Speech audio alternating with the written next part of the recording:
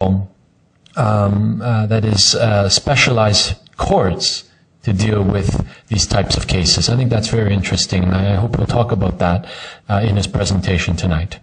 Uh, so with that introduction, please join me in giving a warm welcome to Judge De Sanctis. Thank you. Thank you.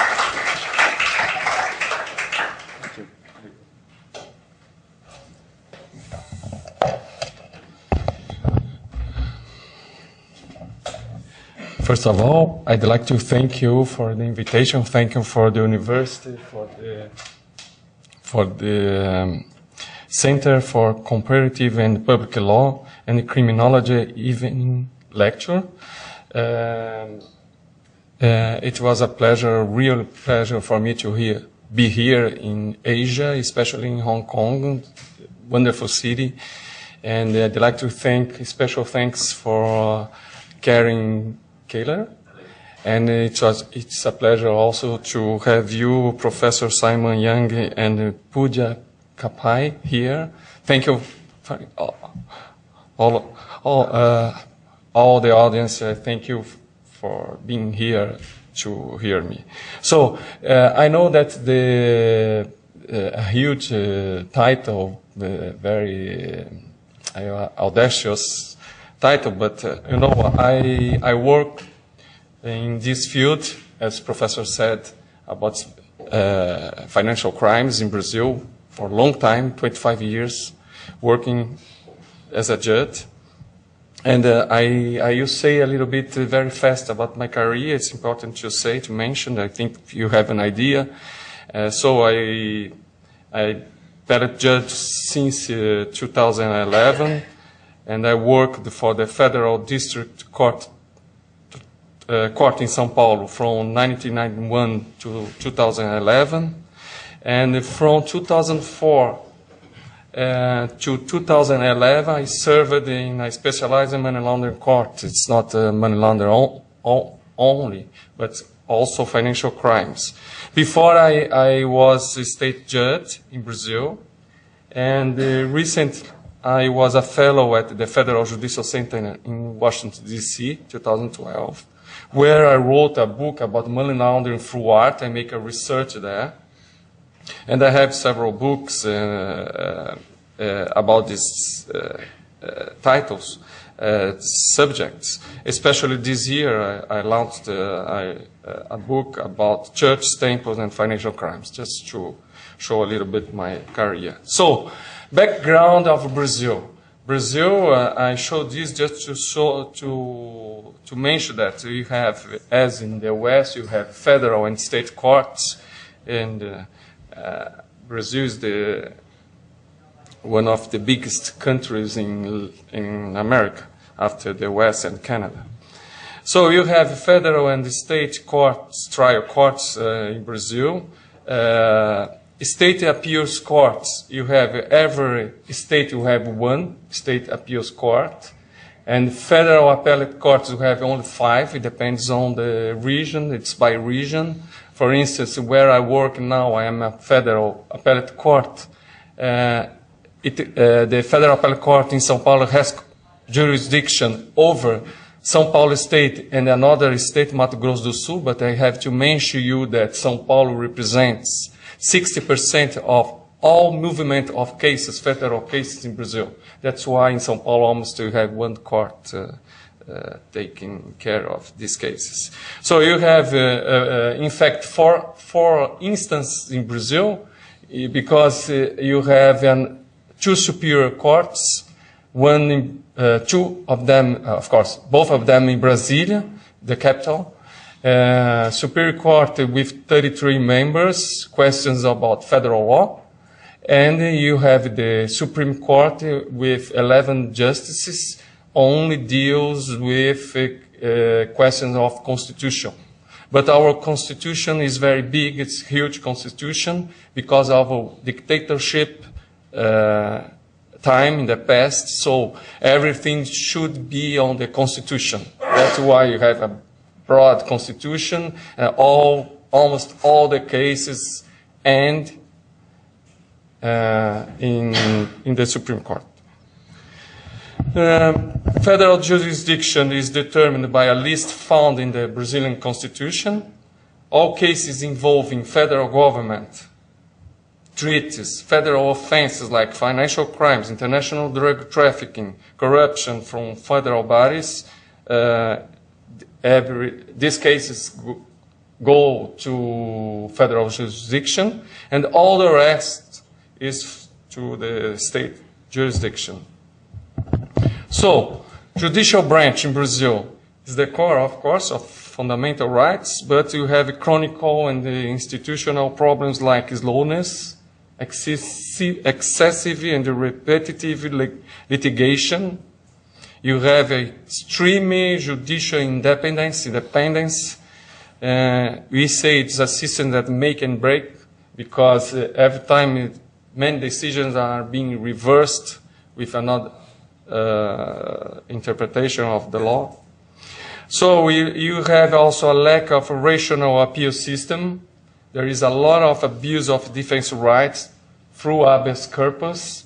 Every single decision of the judge, even if the defendant is not arrested, can be challenged by habeas corpus in Brazil. And some habeas corpus is uh, it's uh, not good. Uh, it's a good uh, tool for the defenders. So you have also a system that the high-level authorities can be judged by the Supreme Court or Superior Court, depending on the, the, level of the authorities. This is not good. Uh, I'm saying this, I'm criticizing the system, in fact. I mean, uh, so uh, that's, that's our uh, difficulties now to deal. Uh, the, all, all this is, is uh, being discussed a lot in Brazil. We are discussing the, if you need to change to, to make it more rational system and more equal, equal, uh, equal system for all the, for, for the improvement of the system. So, um, what you have done uh, in the latest uh, years. Simplification of civil procedures, reform of criminal procedure also. So you have ju now uh, uh, just one hearing for both prosecution and defense testimonies, and we create what is what was very important for us to combat corruption, financial crimes, money laundering was really specialized money laundering courts. And now that uh, we, are in a phase of implementing uh, electronic lawsuits, I don't know if you have this uh, here read, but uh, it's, uh, it's going very fast. And you have courts only electronic, there is no paper anymore. And I think in five years, everything will be in electronic. So it's good. So constitutional reform is try to deal with this slowness. You have binding precedents, that's new in Brazil uh, before you, the judge should not follow the precedent of the Supreme Court. I, I was so indep independent that I could uh, interpret the law uh, as uh, I consider the, the right way. But uh, now you have binding precedents, you need to follow exactly what the Supreme Court decided. That's good. That's really good.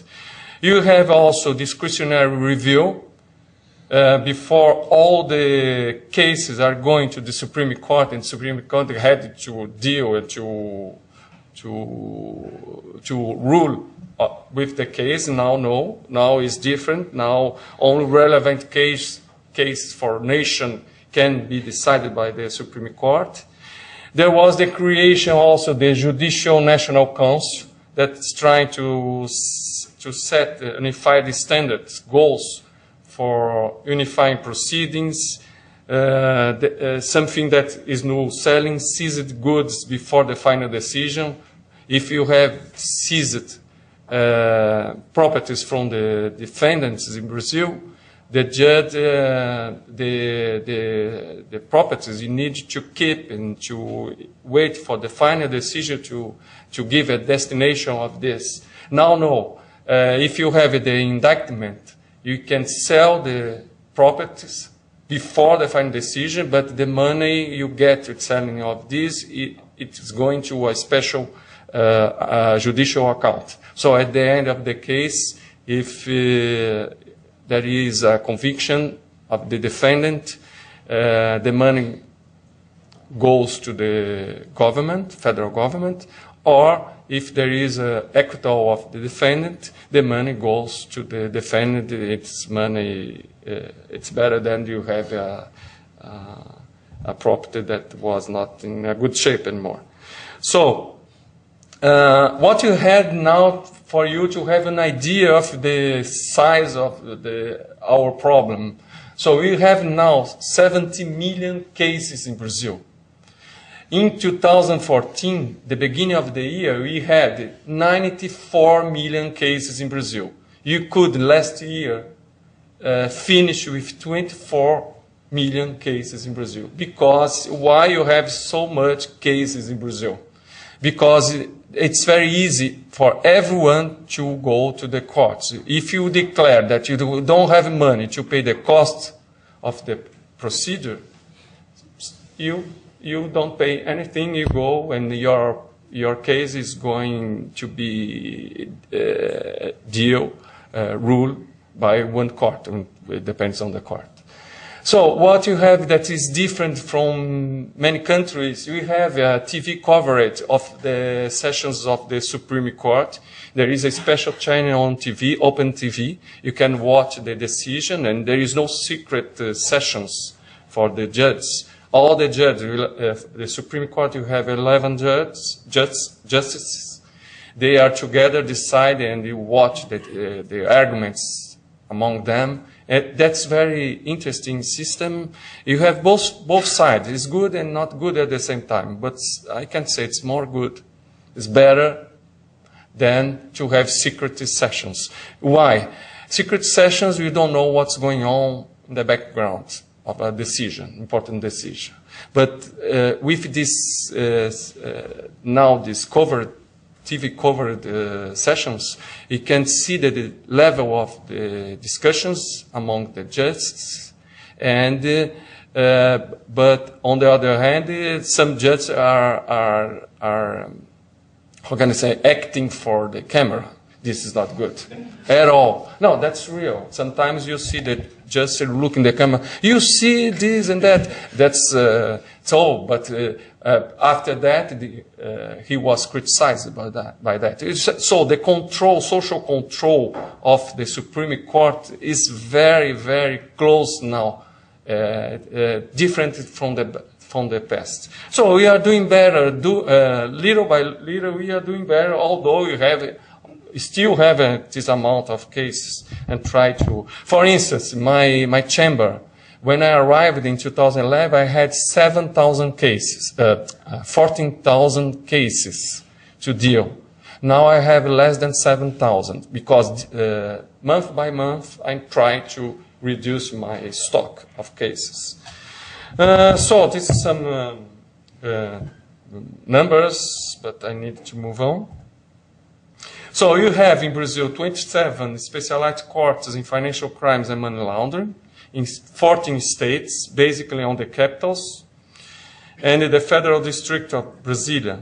They are created basically in 2003, but São Paulo, that is the financial center of Brazil, uh, was created in 2004. Uh, because of the, the, size of São Paulo, São Paulo is a huge uh, uh, in terms of population it's very big. Uh, you have in São Paulo, the state of São Paulo has 40 million people, and the city of São Paulo uh, has 12 million people, but the, whole São Paulo, the, the, great areas with the suburbs, we have 20 million people. So that's not so easy to deal with, uh, uh, with uh, the structure of São Paulo.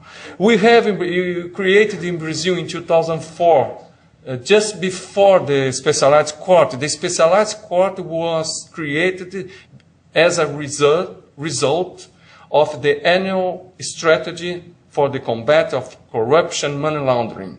That was a meeting, annual meeting among 60 uh, federal bodies uh, including the judiciary branch, you have a prosecution, federal and state prosecution, you have uh, the Federal Reserve, uh, central bank, we say in Brazil, you have the IRS, IRS, you have many uh, government bodies to, all together in a big table discussing what is good, what's not good to, uh, about the system, uh, about the law, about the infrastructure, everything to combat corruption and money laundering. So um, I mentioned some uh, laws that we we addicted because of the ENCLA. ENCLA is the the name of the annual strategy. That was there was the support of ENCLA was very important. Uh, I mentioned only some of them, for instance, Criminal Clean Record Act. So a, polit a politician cannot be elected in Brazil if he or she has been convicted by a final decision or by an, any appellate court. So, if there is this, the, he cannot be a candidate. That's a law, it's a recent law uh, so recent. you have it, uh, this is not from ENCLA, Administrative Misconduct Act, just to mention you that you have this in case of illicit self-enrichment. So what is new, completely new and being forced now is the Anti-Corruption Act, uh, like you have in the West FCPA, uh, Foreign, Foreign um, Corruption Practices Act, uh, in Brazil, we, we did that. It's a strict administrative liability for corporations, only corporations in Brazil. And uh, for, for individual, you have subjective uh, liability. That's completely new, and uh, we are starting with uh, lenience uh, programs. It's uh, very interesting. You have uh, some companies trying to deal with the government in a, I don't know if you are following the news of, in Brazil. You have a big, big scandal now involving our uh, oil company was the symbol of Brazil, Petrobras. It's uh, one of the biggest company, oil companies. So because of this, uh, you are you have a lot of people arrested, and uh, many many owners of uh, big con constructors and companies are arrested because of this. And it, it was, uh, you have judgments from the trial court in the first instance for the owners of company, private companies. And for the politician, you have the Supreme Court also uh, uh dealing with uh, ruling the same case, but uh, split because of the competence of the jurisdiction. Politicians uh, have the right to be judged by the Supreme Court. That's why. And there is different, uh, uh, um, how can I say, different uh, level of uh, proceeding. Now you have already final de decisions and um, punishments of the owner of companies, but in, in the Supreme Court, you have the beginning of the case because it's much more complex to, to decide the Supreme uh, Court. You have the new law of uh, relatively new Free Public Information Access Act, access to expenses, public procurements or bids, salaries of everyone can can see my salary, for instance, in Brazil. If you go to the site of the, the federal court, you can see how much I earn. And it, it's not on me. So you have uh, other uh, changes, but what I'd like to highlight here is the Money Laundering Act as an outcome of uh, annual strategy. And uh, we changed the, uh, uh, the law, the, the previous law, Uh, the first law was in, addicted in 1998, and there was a list of precedent crimes, and now we don't have the list anymore. It's very easy now. It's better to for the accusation to to charge the defendants because of this, because there is no need to do the link between the money laundering and the previous crime. It's, it's more it's not so strong uh, link you need. You just the, the prosecutor just needed to mention that the, the funds are a result of illicit uh, activity. Um, and you have also the new law, organized crime. Uh, uh, there is uh, some discussion because of definition of organized crime. You have uh, several laws defining organized crime, but the last one is the the the, the law 12,850, and you need only uh, you need four people minimum to be considered organized crime in Brazil. Um, so national goals, you have national goals from the the National Council of Justice, and uh, one goal is productivity. You need to rule more number of cases than we, we were assigned to, to do. So this a little bit, you have numbers about uh, people in prison, 700. In fact, it's a little bit less now, but that's it. The number are not very good in Brazil, statistics, but uh, okay, I took this from the National Council of Justice. So this, I can skip to go to our subject. Uh, it's more so, uh, so uh, this is the research that I did, I did in 2012 to try to to to understand why money laundering was uh, criminal was uh, was um, uh, to money laundering money laundering through art. So it was I had uh, interesting cases involving money laundering through art. That's why I decided to write about this. And uh, I watched uh, uh an auction, Christie's auction, and in June 2012, I, can, I can I can show you the little video that I did just to. And that takes us to the Romanino lot 99, showing up here for you, lot 99. And uh, I can open the bidding for this lot with my interest at $1,800,000. At 1,800,000. Here with me. At 1,800,000. 1,900,000. At 1,900,000. $2 million at $2 million, 2,200,000, 2,400,000, 2,600,000.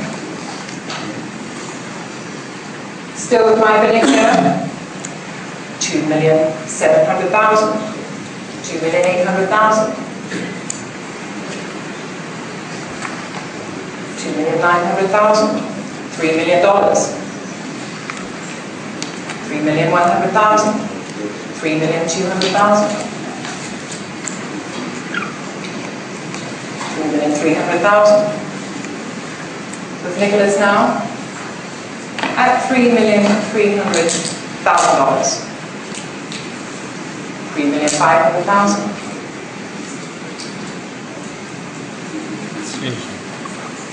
Three million six hundred thousand. Three million seven hundred thousand. Three million eight hundred thousand. Three million nine hundred thousand. Four million dollars. On the telephone now at four million dollars.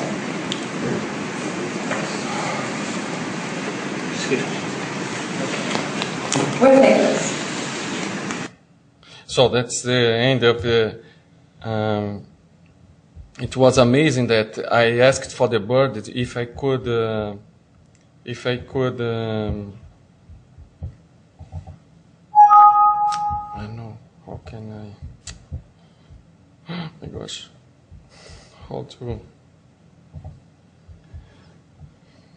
can you help me? I don't know to, how to, to come back to the, uh, I forgot the, yes. Ah, yeah. Which one? This? Okay. So it was amazing that I went there and then I, I talked to the board of the Christies and they said, ah, you can, you can film. There is it's a public uh, auction. There is no problem, no problem, no problem. And, and then I was filming, and you, you can see the people on the on the side. They are making uh, suggestion of price. They are talking. They are they are intermediary of some buyers. So you don't know if that's true or not. How how can they uh, manipulate this uh, kind of uh, auctions? It's very clear that can be manipulated. So, but uh, I was filming. You don't see, but a guy came to me and said, "You cannot film." I said, "No." I was saying, I was filming and say, "No," but. Uh, uh, he, she said, the board said, I could say, no, no, you can't, you can't. Okay. That's it. Uh, just to show a little bit an action, uh, I think it's very interesting to see that uh, it's something not so, it's transparent, but it's not at all. So I had a big case involving art.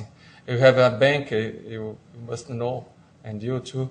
It's a bank, uh, uh, he had a bank, Santos Bank, uh, Banco Santos in Portuguese. So uh, he's mentioned, you can see he's mentioned with a lot of artworks, and he he, he money. It was a scheme, fraud scheme, financial scheme, and he bought a lot of uh, art. And uh, some art he fled to the west with false declaration. He declared, for instance, uh, this artwork is Hannibal. Basquiat from Basquiat.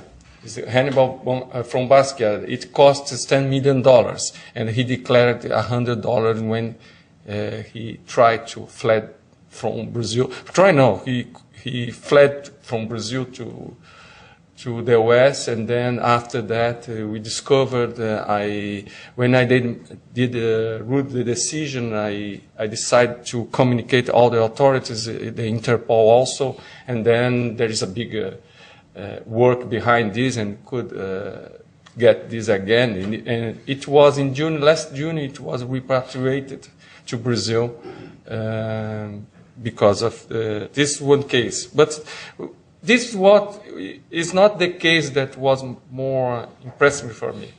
Uh, this is his uh, his house. It's millions of dollars. Only this this light costs a lot of millions, and everything with art. He took this port, this a real door of open door of a church, old church uh, like this in Minas Gerais state. He destroyed that church to have just the door here. Uh, that's unbelievable. He's a crazy guy.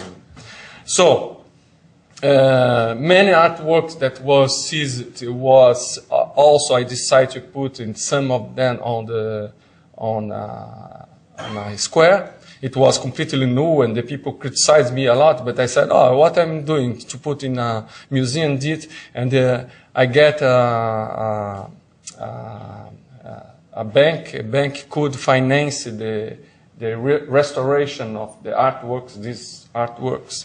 And then with the city hall, put there, I said, okay, if he, he in the future, he is uh, acquitted, we give back to him. But at least the people can see a little bit for free. ah, that's why, yeah, why? Because, because of the slowness system. Uh, this, this case is in 2005. It's still in the courts. So, this is the case that I did like to mention that a big drug dealer case. He, he sent drug, uh, drugs from, from Colombia to the west by submarines. He, he, he constructed submarines just to send it to, it's a big organized crime. It's a really dangerous guy. He made several, um, surgeries, statical sur- surgery, you can see his face is, is changing along the years because he was trying to, to, to be out of the uh, American authorities.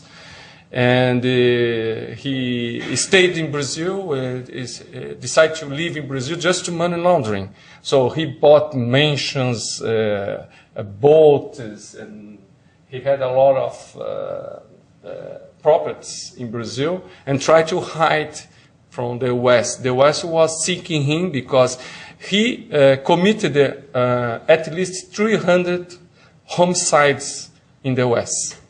uh, because of uh, his drug trafficking.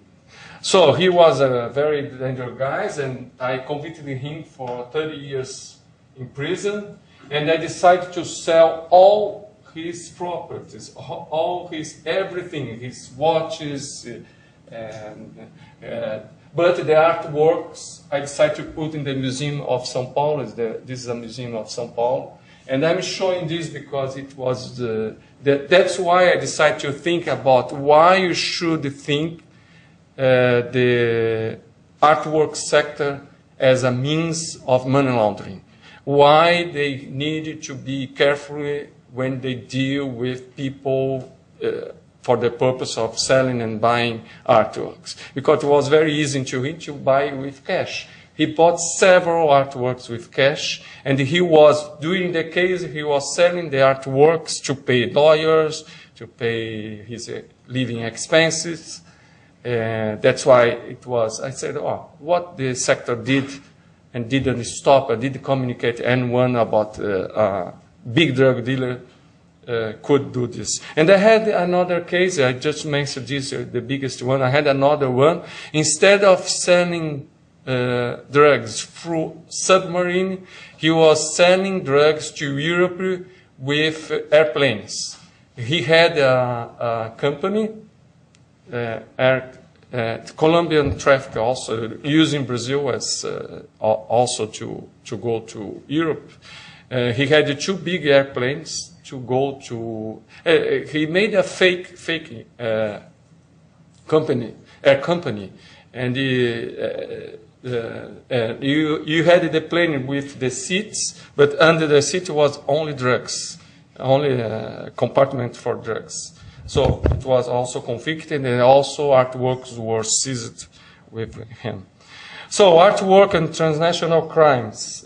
That's a really relatively relatively free land, real and the clandestine, arena, ecosystem apart, use of fake identification, rare documentation of the possession, all the questionable, questionable, questionable practices. Uh, I could look at the consignment documents in, for instance, in Christie's and in Sotheby's. You have the name, the address, the telephone number email of the consigning artist, a description of the item, price, date, percentage agreed, and their signs, but nothing about form of payments. When, when you go to Christie's or Sotheby's, they represent 90% of the movement of artworks in the world. So when you go to the site, you can see, you can pay in cash. And they say, ah, oh, you have standards, uh, strictly standards to, to prevent money laundering. But in fact, uh, they accept the cash and they accept cash from third parties. Uh, so I, I was criticized that they didn't like me anymore. I cannot contact them anymore. But, uh, you know, uh, uh, you need to think this sector, what they are doing. They are self-regulated. That's a big problem because they regulate themselves.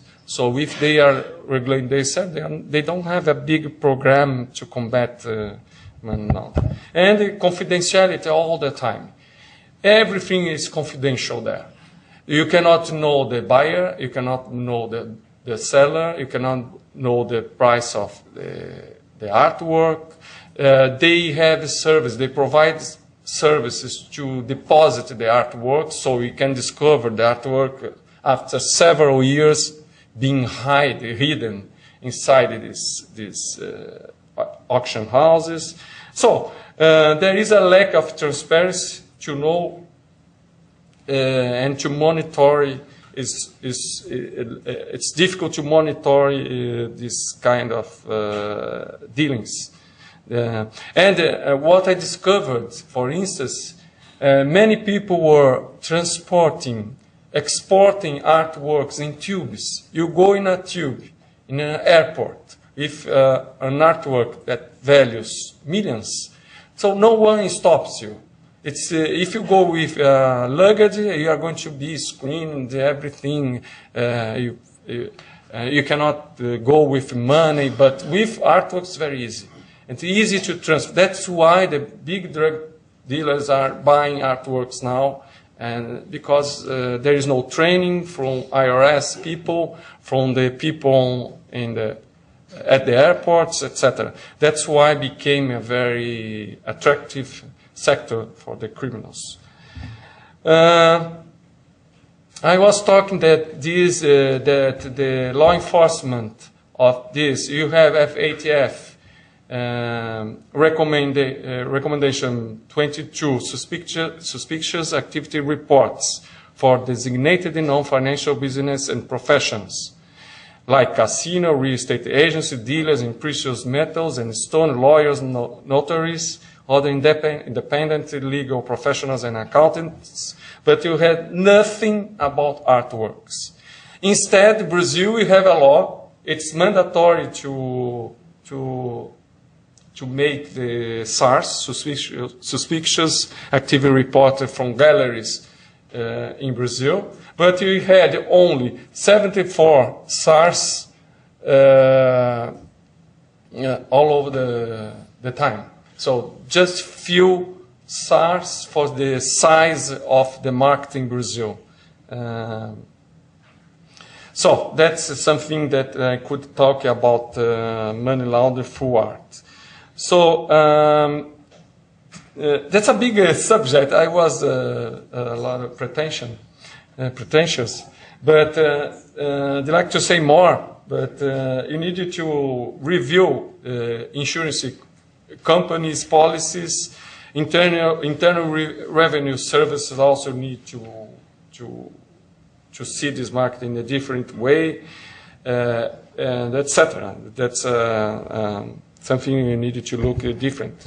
So about football, football that now it's uh, very you see on the on the on TV now the big scandal involving FIFA, but it, everyone knew something related to football, uh, money laundering football.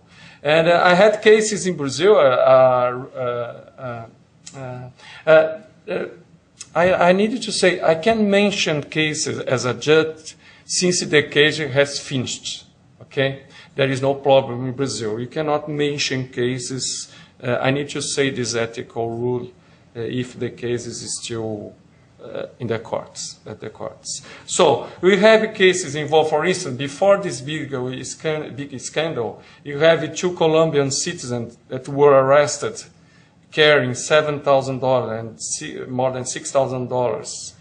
Um, tried to, to, to leave Brazil, not declaring the money that they were uh, carrying uh, uh, the money.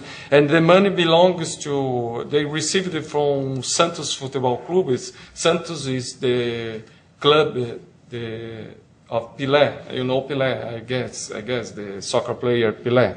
So he came from Santos. That was a, a negotiation between the, the two Colombian citizens and the Santos Football Club.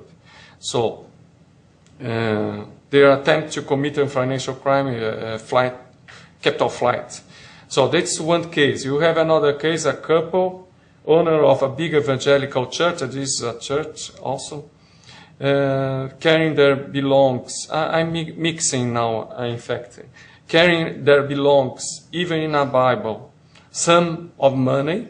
They put money inside the Bible to send to they they are owner a big big big church in Brazil. Man. The, the, church is international church. You have some churches in, in in Latin America, also in the West. So they are the the, the, the leaders of the this church. It's a evangelical church. They are pastors, and um, so they were discovered and they were convicted in the West when they they were trying to get the West with money inside the Bible and declared falsely that the money they they were they had just a little money. It was uh, almost sixty thousand uh, dollars hidden inside the Bible, and uh, in the West they were convicted they have a lot of property, luxury properties. They have uh, cars, international cars. Inter uh,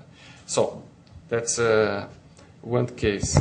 And another case involving football, and this, uh, coming back to the football, was uh, um, involved the biggest club in São Paulo, biggest in terms of fans, and uh, there was a big scheme, scheme involving Brazilian international football clubs, and possibly money laundering from illegal activity in Russia, England, Ukraine, Georgia, Portugal, and Turkey.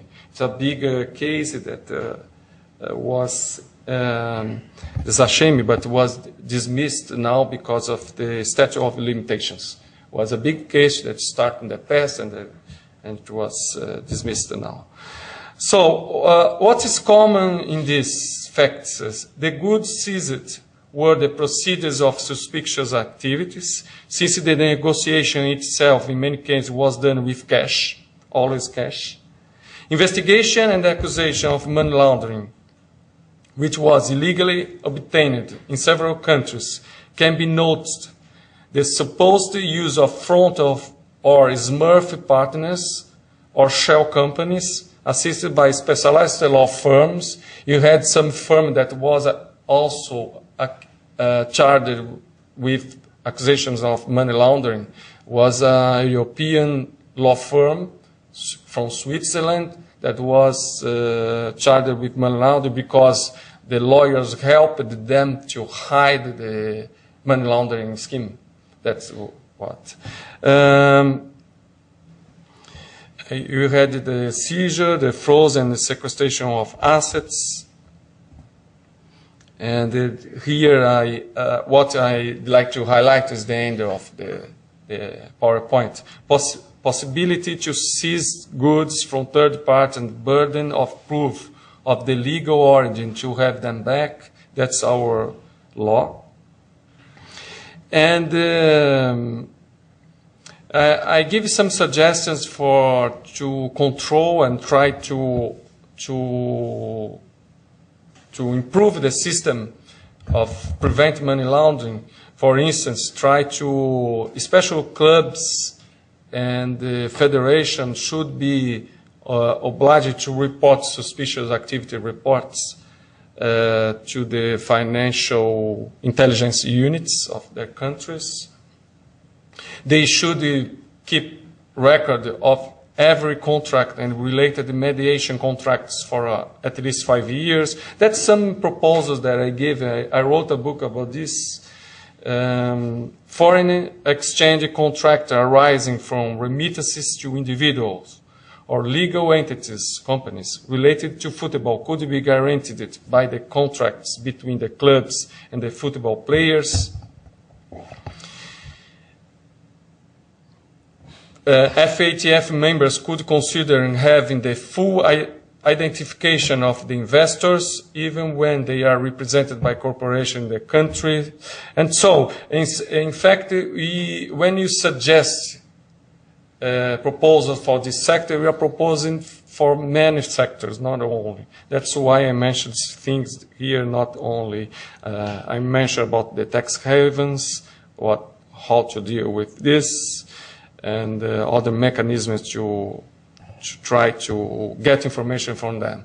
Uh, uh, from my experience, I can say when Brazil asks information to tax havens, you don't get information. But when you get information through United States, you get information because they're powerful of the United States. And they, they helped a lot Brazil. Uh, I, I need to say that's a country that Brazil asks much more than the West asks from Brazil. And the West uh, helps much more than Brazil helps the West because of our uh, bureaucratic system uh, of the judiciary branch. Uh, churches, uh, it's very easy to create a, a, fake church. There is no uh, requirement of theological or doctrinal to register or minimum number of followers.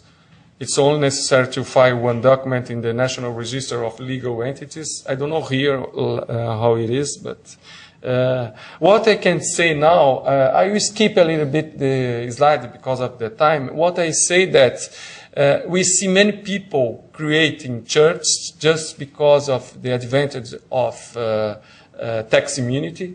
They can open very easily to open bank accounts and make transaction, financial transactions, uh, uh, uh, creating churches.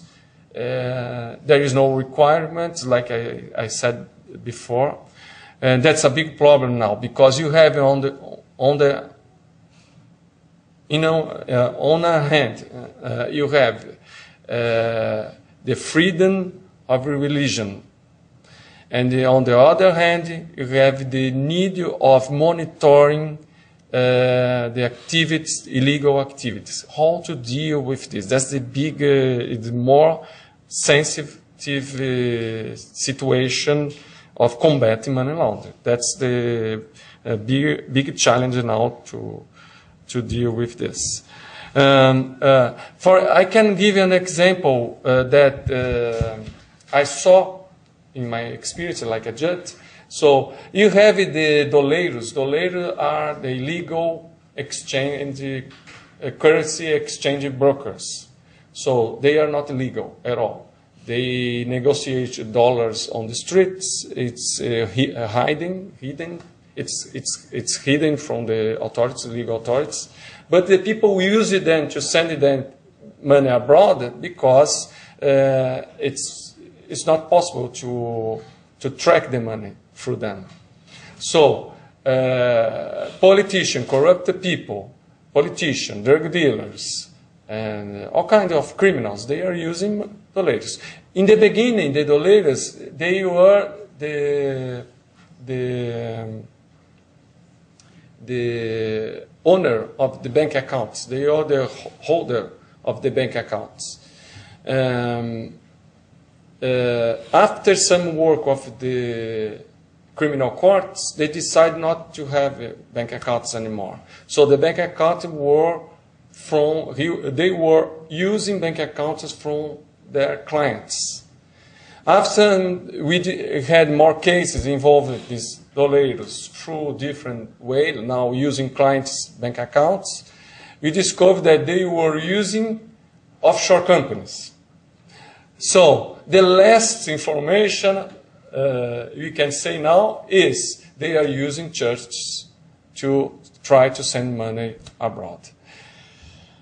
Uh, that's it. Uh, sorry uh, for the. That's a big uh, challenge to to try to to to share this experience. The, I had a lot of cases in mind to, to mention, but the time is the time. You need to respect. If you have any question, please feel comfortable, free to ask me. It will be a pleasure to answer. Thank you.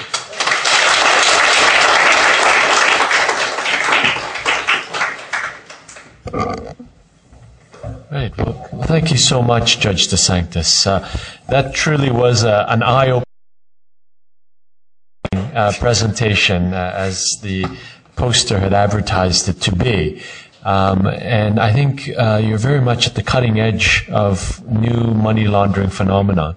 And in many ways, in Hong Kong, I think we are still catching up and, and starting to see uh, these new developments. Um, you mentioned how if FATF did not mention uh, art, and, and the same uh, in, in our laws and regulations. Of course, our laws uh, are targeted in a very general way. So our money laundering offense uh, targets proceeds of all indictable offenses, um, and the reporting, uh, the SRT uh, obligation relates to all criminal activity.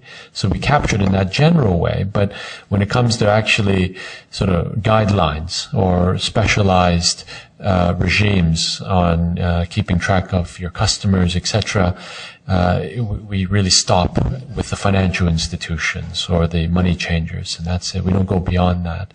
So in many ways, I think uh, we can learn a lot from from your experiences, and I think it's been really, really interesting. We have a, uh, some time to um, hear questions or comments from the audience. Yes. I wonder about resistance from representatives of the, you know, football world or the art world, uh, and the religious world, perhaps. Uh, to what extent is there a functional codependency going on here, uh, such that it would it would really cause a devaluation in the art market. I mean, what proportion of business uh, involves this sort of money laundering? And what kind of resistance do you encounter if you were to regulate it? Uh, Mm, uh, first, uh, FBI estimated this market in 1.3 billion a year of illegal movements, uh, transactions. I don't know if it is true how they get this information. You have uh, UNESCO, UNESCO estimated in 6 millions illegal transactions uh, involved.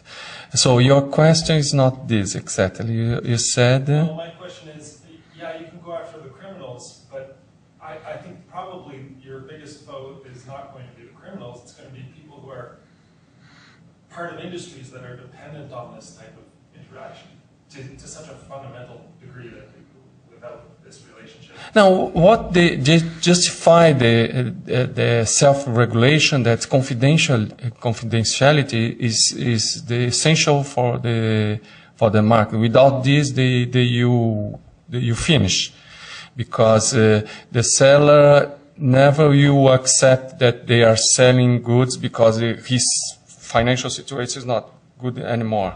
That's uh, it's kind of uh, embarrassment mm, situation. But you know, uh, it's not this. I know uh, to to price the to evalu- uh, uh, uh, to to give a price of artworks very difficult, and to to evaluate the real price of art also. So that's one point. The, the, for me, the important is you need to do something because the art sector is being used a lot for the criminals now.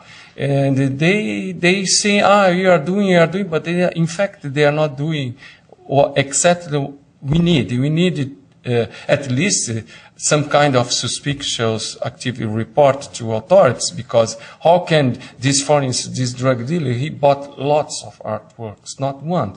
The other guy I, I showed you, it was 12,000 artworks seized by the court. I don't know if everything was seized, but, uh, uh, you know, and uh, no one stopped him. No one did anything.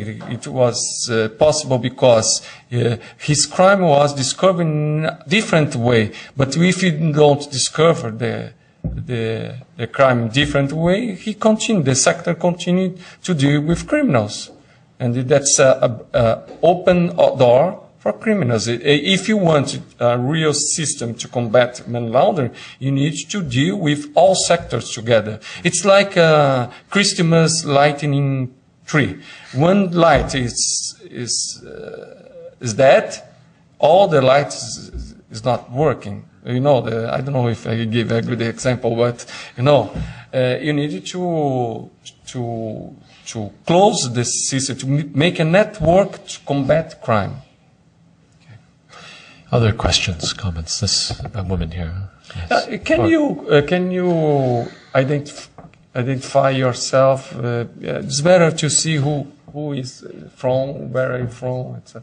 My name is um, Emily Smith, and I research the illicit cultural property trade. So I have a lot to do with the auction houses, and yes, they are indeed codependent on this sort of trade. Um, but I would like to know what kind of um, you say that lots of the crimes that are discovered involving artworks are actually discovered in the process of another crime. So, Yes. For example, money laundering. Mhm. Yes, and that is what we discover all over the world. Um, would you say that money laundering, because they go after the proceeds of crime, would you say that money laundering is the number one um, crime that they identify that is, um, you know, that combines artworks?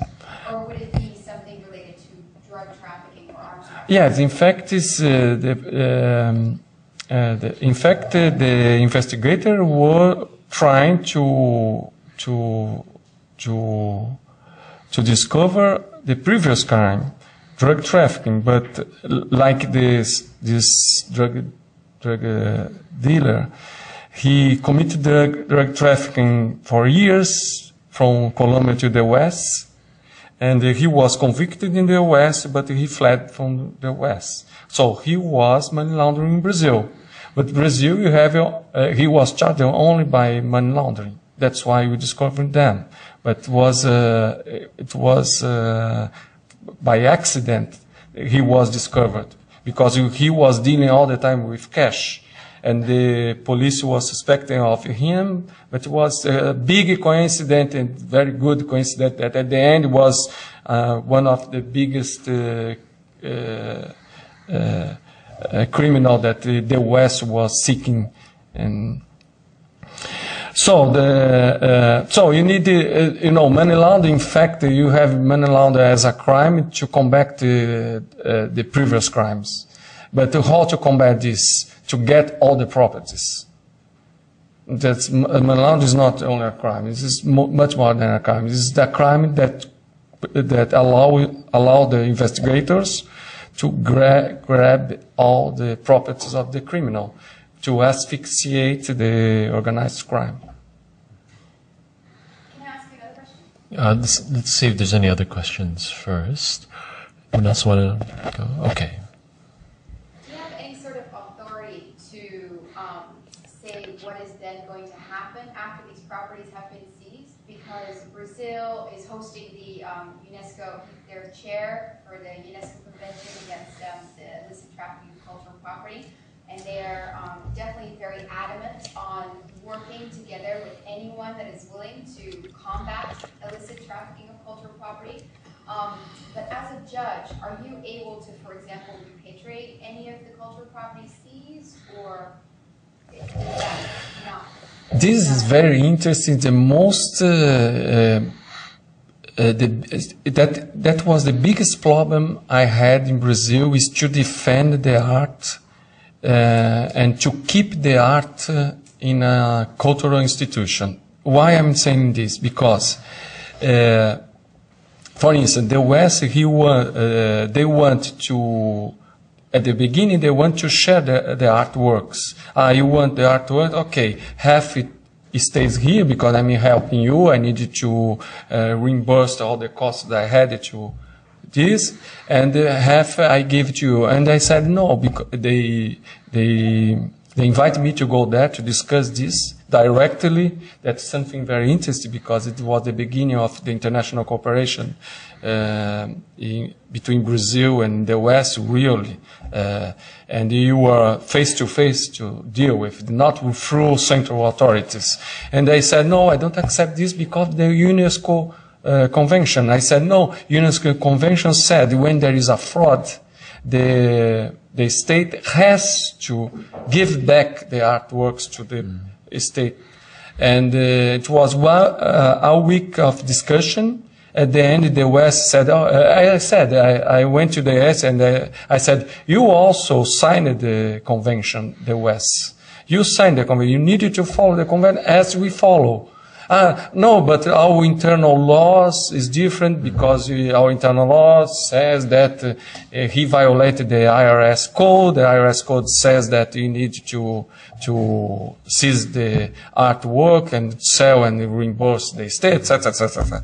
Uh, so, and at the end, they agreed with Brazil, and uh, all the artwork were repatriated, but in Brazil, we had a big discussion because it was a financial crime from a banker, and the creditor want wants to sell the artworks to be reimbursed, and I was uh, completely against this because I know that many creditors he went to this bank, special bank, because the rates were were so high, completely out of the market standard uh, rate of the market because they are in some way helping the banker to smuggling money from the bank to and they knew that.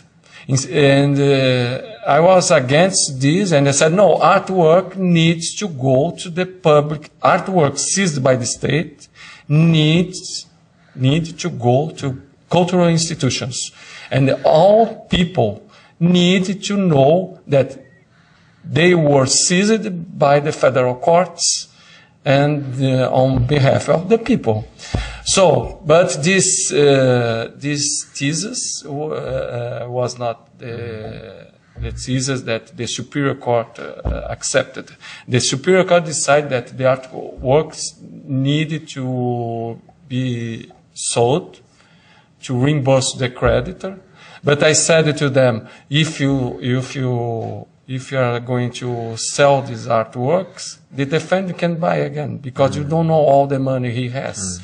He could not get all his money. He can buy through third parties. And uh, that's what I t- try to, to convince the West. I said, no, don't, don't accept to send to Brazil without a condition of it cannot be uh, sold again or deal again. Uh, it must but they must go to cultural institution. But the West said, no, that's internal question. We are not going to, I try to force yeah, the West to do, to be in favor of my thesis. But uh, it was not the, the thesis that, that accepted by the courts, federal, uh, superior courts. Okay. This gentleman here. I'm not going to ask a very technical, I'm going to ask a rather general one. I'm a foreign correspondent, I'm a freelance correspondent, been here for 20 something years. Um, I'll give you a couple of anecdotes and I'll ask you a direct question about political will. A UBS private banker laughed at me when I said, is there a serious inquiry here? Private banker saying, is there a serious sort of inquiry into where money comes from? Um, London's just been described not so long ago as, as an international money laundering capital. Um, here, what we have here, the explosion of art, Basel, art fairs, galleries going all over the place, all kinds of money coming from China, uh, Macau, money laundering, it opens, it's an open secret it's happening. I mean, if it happened, if London and Switzerland are not really serious, and well, the Americans do it, we have to wonder whether there are secondary reasons. Is there a serious political will anywhere, actually? I mean, really trying to say, let's, let's deal with money laundering, because it's happening everywhere. I was not, I'm sorry, I came over there. Oh, what is the question? Sorry. Is there a political will? If, if Swiss banker laughs at me and says it's a serious inquiry um, into where money deposits are coming from, if, if um, London is described in, what I consider creditable and reliable media uh, reports as being uh, a, a money lending money laundering capital, and over here we have you talk about the art world. Well, in, in, a few years, five or six years, we, we, we went from 20 art galleries to 150, 200, and Art Basel transferring here. You know, there must be there must be connection between them. But is, is anyone, certainly not China, going to say, well, no, uh, in my book, Switzerland or, or in London, in London, no. is there a serious political will to tackle this?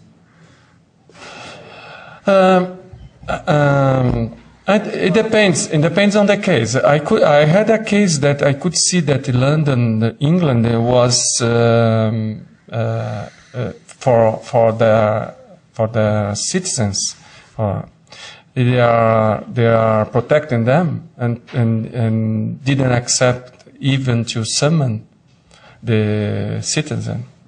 The, but depends on the case. But uh, general, broadly speaking, uh, I can say that uh, you have these problems everywhere, especially in Asia. I know that there is a lot of money laundering here through art, and uh, my book I mentioned some some cases involve uh, Asia uh, galleries and, and that's everywhere you have this. That's why you need to do something. But I don't know if your question I answered. I didn't. What about what. Brazil? What do you think the Brazilian government's attitude to this? Do they have? Yes, the, I was discussing. With, good question. I was discussing with the director of our FIU, FIU, and the COAF in Brazil. The name is COAF financial intelligence unit.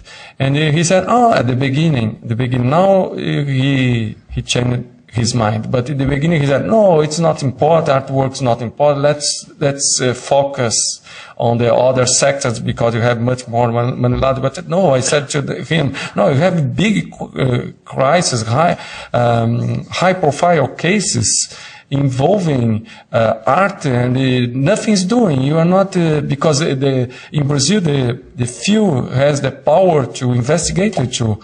That's a council that they can investigate even to punish the, the corporation or the gallery. And they are saying, oh no, our focus in another sector. I said, no, you need to focus every sector because you are focused just one sector.